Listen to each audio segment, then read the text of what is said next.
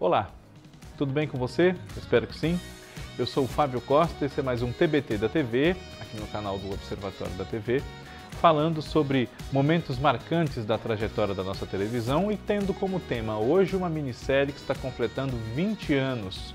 Uma minissérie bastante boa, inclusive. Um Só Coração, de Maria Adelaide Amaral e Alcides Nogueira.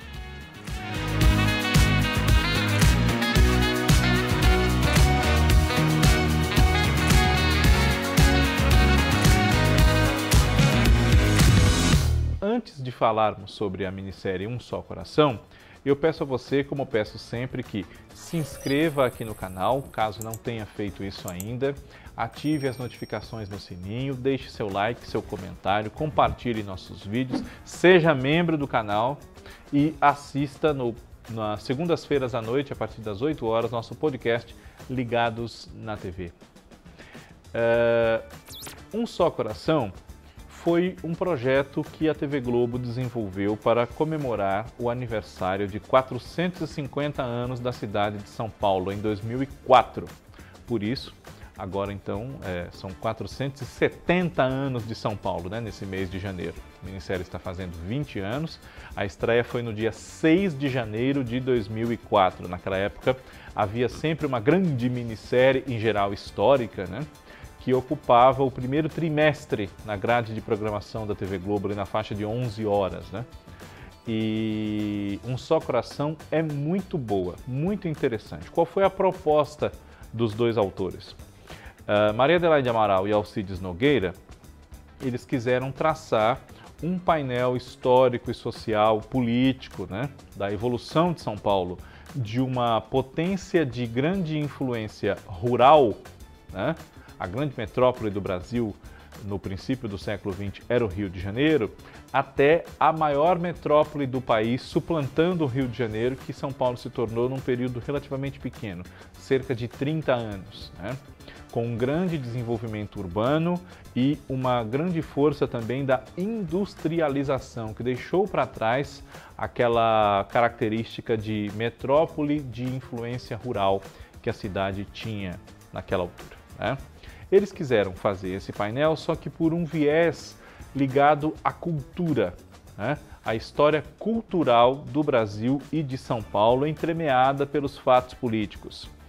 E também, eh, assim como a minissérie Agosto, da qual nós falamos recentemente aqui no TBT da TV, eles mesclaram personagens ficcionais e personagens reais para a composição desse painel. A minissérie começa em 1922 na época da realização da Semana Moderna de 22, a Semana de Arte Moderna, aliás, né, de 22, e vai até o quarto centenário de São Paulo, em 1954. A personagem central que é, simboliza ali a união desses dois mundos é a Yolanda Penteado, uma jovem de uma família muito tradicional, chamada Quatrocentona, né? interpretada pela Ana Paula Arósio. No início da história, ela se interessa por um rapaz que é anarquista e pobre, o Martin, que é o personagem do Eric Marmon.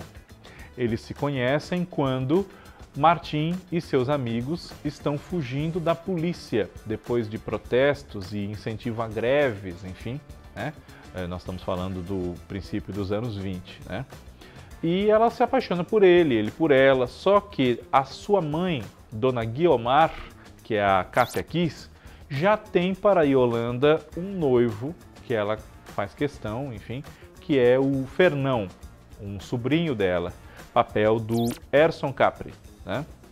Embora a Yolanda não goste do Fernão, ela acaba se casando com ele, né? Ele é um pouco mais velho do que ela, enfim, ela acaba se casando com ele porque uma série de desencontros faz com que esse casal se separe, a Yolanda e o Martim.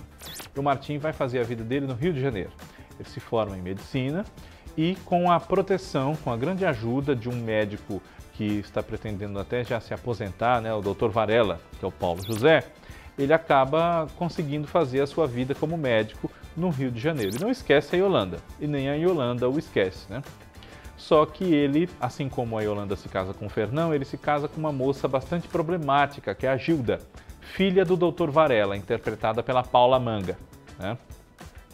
Uh, como eu disse, Um Só Coração começa ali pelos dias da Semana de Arte Moderna de 22. E esses artistas do movimento modernista do Brasil são personagens muito importantes ao longo de toda a minissérie. Né? Não só se fala sobre a sua trajetória artística propriamente, mas se vai mais a fundo nas figuras humanas que eles representam. Né? Mário de Andrade, que é o personagem do Pascoal da Conceição, e Oswald de Andrade, José Rubens Chachá, né? Que são amigos, se dão, mas ao mesmo tempo divergem muito na sua visão do que é o modernismo, do que é a cultura, do que é a arte. Isso faz até com que a certa altura da vida eles rompam. Né? Anitta Malfatti, que é a personagem da Betty Goffman, sempre marcada, a vida toda marcada por graves críticas feitas por Monteiro Lobato ao seu trabalho, né? Uh, Menotti Del Picchia, que é interpretado por Ranieri Gonzalez, um escritor né, que escreveu, entre outras obras, é, Dente de Ouro e Salomé. E também, claro, Tarsila do Amaral, como Oswald de Andrade, filha de família rica, uma família de fazendeiros, enfim, que teve inclusive, assim como ele também, vivências no exterior, né? Papel da Eliane Giardini, e que por isso mesmo é, aprendeu a valorizar a essência da cultura brasileira e embarcou de cabeça nessa proposta do modernismo, que era romper com os padrões estéticos antigos, muito influenciados pela Europa, né, pelas artes consideradas nobres, clássicas, enfim, uma valorização do fazer da cultura brasileira realmente, é, deglutindo ali, literalmente, né, todas essas influências, mas criando uma coisa nova, não colonizada, né? Uh, também tentando se comunicar, especialmente na literatura, com simplicidade para ser entendido, né, sem laivos de, de superioridade, né? mas sem por isso deixar a coisa nivelada por baixo. Enfim, o movimento modernista foi muito importante e teve no, no Mário de Andrade uma grande figura, né? considerada por muitos a mais importante, pelo menos em termos literários, em que pese também o grande respeito que se tem pela obra do Oswald de Andrade, né? Serafim Ponte Grande, eh, O Rei da Vela, eh, Memórias Sentimentais de João Miramar, enfim. Mário de Andrade é autor de Macunaíma, né? autor da Pauliceia Desvarado, enfim. É, dos contos novos, dos contos de belas artes. É, esses artistas vão sendo mostrados né, no decorrer das décadas, aí, cerca de três décadas da história, né, e compõe-se esse painel da transformação de São Paulo em grande metrópole. Não só a partir deles, mas também de uma família, principalmente, de um grande fazendeiro de café, o Coronel Totonho, que é o Tarcísio Meira, é a família Souza Borba.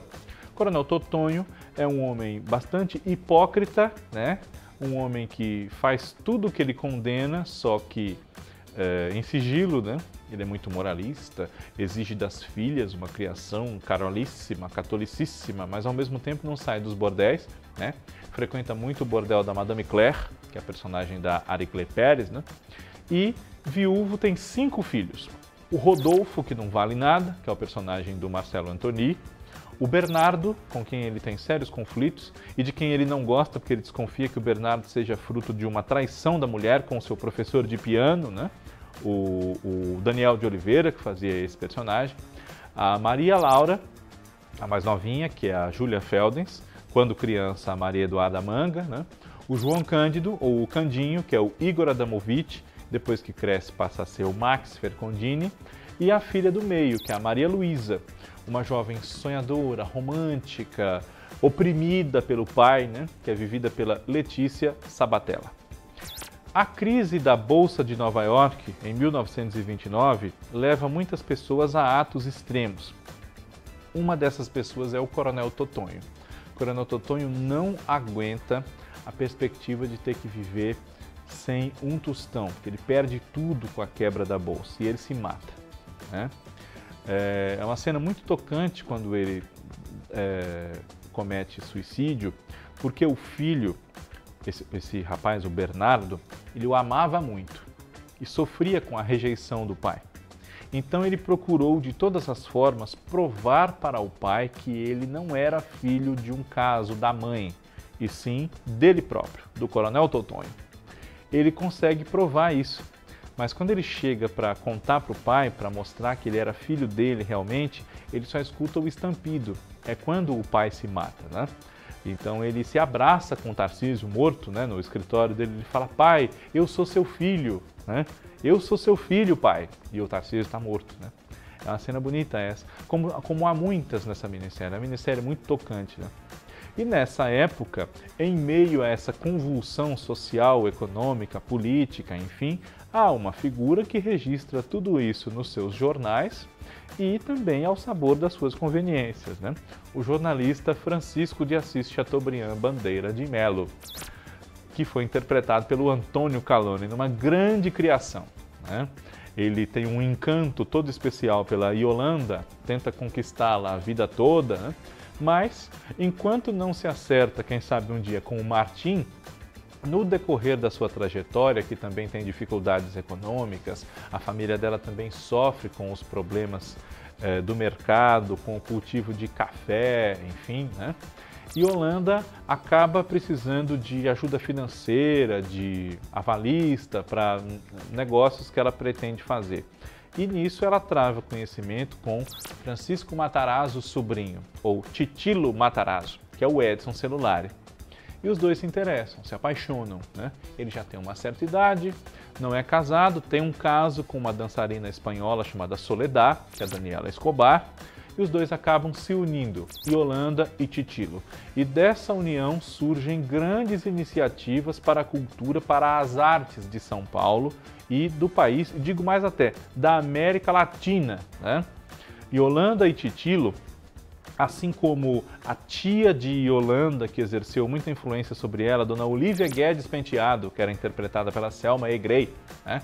e o senador José de Freitas Vale, que na minissérie é interpretado pelo Pedro Paulo Rangel, Paulo Prado, que era Tato Gabos Mendes, e sua esposa Dona Marinette, né? que era a Tuna Dweck, essas figuras exerceram sobre Yolanda uma grande influência no sentido de valorizar as artes, além da sua grande instrução, né?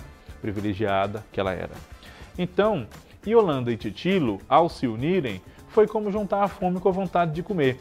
E eles estiveram, também com o grande apoio de Assis Chateaubriand, diretamente ligados à criação do Museu de Arte Moderna de São Paulo, o MASP, né? e também da Bienal de Artes de São Paulo, que é realizada até hoje, o museu também existe até hoje, que bom!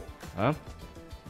Uh, entre essas transformações pelas quais São Paulo passa, é claro que os personagens, é, entram novos personagens, né, especialmente imigrantes de outras partes do país e de outros países que vêm em São Paulo fazer a sua vida, já que essa cidade crescia tanto e representava uma chance de futuro para eles, né? Mas há uma outra personagem que vem desde o começo e que vai evoluindo também com essa história aos trancos e barrancos. Uma moça chamada Ana Schmidt da Silva, que é a Maria Fernanda Cândido. Ela é filha de um revolucionário, de um homem que uh, ama muito os seus ideais e ama a família, mas em nome dos ideais acaba deixando a família passar necessidade, né? Seu Ernesto, que é o Celso Frateschi, é casado com Dona Frida, que é a Lu Grimaldi, e tem com ela três filhos. A Ana, o Frederico, que, que depois de adulto né, é o Murilo Rosa, e a, a Usha, né, que mocinha é a Leandra Leal. Essa família sofre bastante com falta de dinheiro, com humilhações, é, praticamente passam fome, né? E o pai vive de cadeia em cadeia, porque é preso pelas suas contestações políticas, enfim. Para tirá-lo da cadeia em uma dessas, Ana acaba tendo que aceitar uma condição do coronel Totonho, de trabalhar para ele como governanta, enfim, trabalhar na casa para ajudá-lo a cuidar dos filhos, mas na verdade a intenção dele é que, já que ele desconfia que o Bernardo é homossexual, que ela o inicie nas artes do amor, por assim dizer. E a Ana, humilhada e necessitada, pensando na mãe doente, nos dois irmãos pequenos, no pai preso, ela vai. Acaba despertando uma obsessão, a gente pode dizer, no Rodolfo. O Rodolfo abusa sexualmente da Ana. Né? E ela, na verdade, tem uma grande paixão, é por um jovem padeiro, o Joaquim, que é o Renato Scarpim, ou Scarpan, como queira, né? Que é o sobrinho do seu Avelino, o Paulo Goulart. E nessas, nessas confusões todas que acontecem em São Paulo entre os anos 20 e 50, tem uma cena que me marcou muito como espectador, que é quando a padaria do seu Avelino, e ele mora nos fundos, né? A padaria sofre um saque. As pessoas estão sem ter o que comer, né? É, na Revolução de 32, se eu não me engano, né? A padaria sofre um saque. Eles vão entrando, pegando tudo, quebrando tudo e tal. E tem uma hora em que o seu Avelino ele, ele quer defender a todo custo o colchão dele, porque no colchão estão as suas economias, né? Ele fala, não, meu colchão não. e, de fato, o dinheiro dele estava ali, né?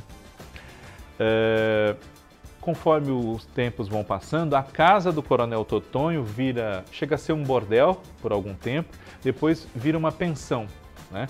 E nessa pensão vão morar diversas pessoas que vêm fazer a sua vida em São Paulo. Né? Desde nordestinos como Magnólia, que é o papel da Dira Paz, que vem a ser amante do Rodolfo a certa altura da minissérie, né? como também uh, uh, judeus alemães, né, judeus que vêm da Europa fugindo da perseguição dos nazistas, né, entre eles a família Rosenberg, que é liderada pelo seu Samuel, que é o Sérgio Viotti, Dona Lídia, que é a Helena Ranaldi, nora dele, a filha da Lídia, Raquel, né?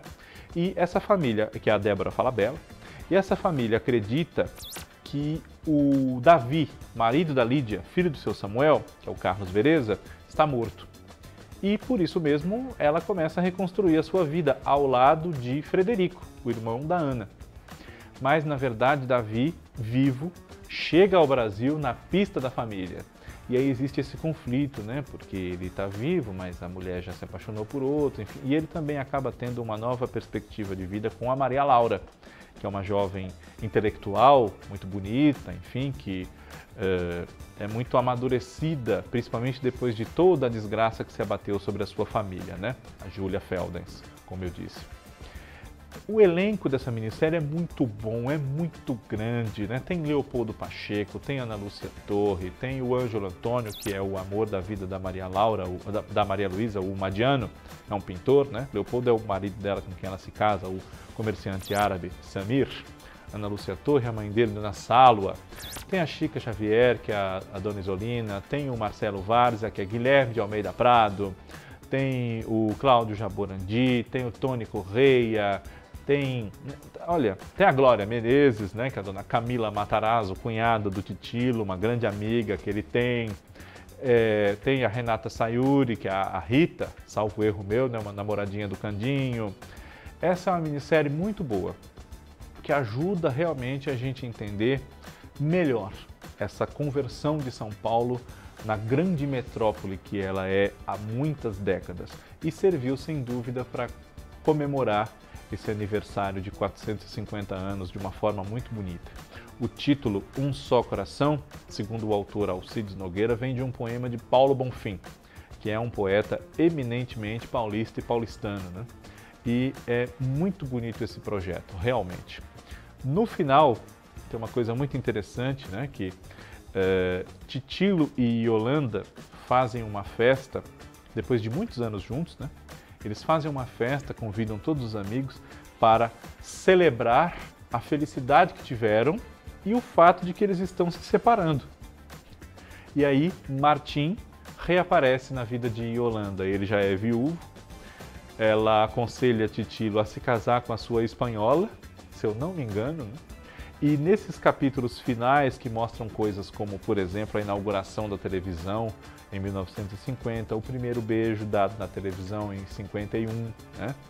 Aparecem alguns atores muito importantes fazendo ou eles mesmos ou pequenas participações de personagens ficcionais. Né? Tônia Carreiro e Paulo Altran, por exemplo, interpretam um casal idoso que está na plateia do teatro vendo dois atores promissores em início de carreira, a Tônia Carreiro e o Paulo Altran que são interpretados pela Brígida Menegatti e pelo Jonathan Nogueira. Né?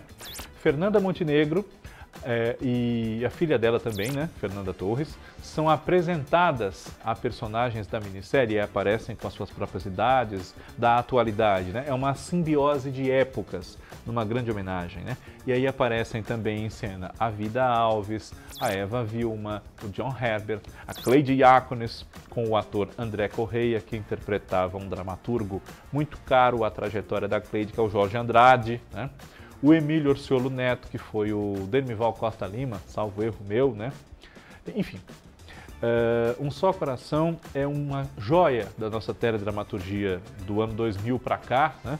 Uma grande minissérie que merece o sucesso que fez, um grande sucesso, já está no Globoplay. Se você não assistiu, confira, porque, parafraseando outro programa nosso aqui, vale a pena. Poderíamos ficar falando horas sobre um só coração, porque tem muitos personagens e uma história muito rica. Mas vale essa mensagem, né?